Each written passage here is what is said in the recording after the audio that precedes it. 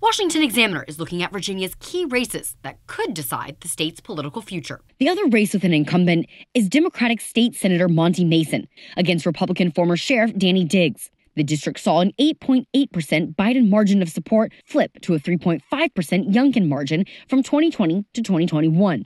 Diggs told the Washington Examiner the district is a true 50 50 district, and he's focusing on taxes, public safety, and education while Mason has said he supports Virginia's current 26 week limit on abortion. Mason is definitely winning when it comes to funds. The Democrat has outraised Diggs by over $1 million, raking in about $3.25 million.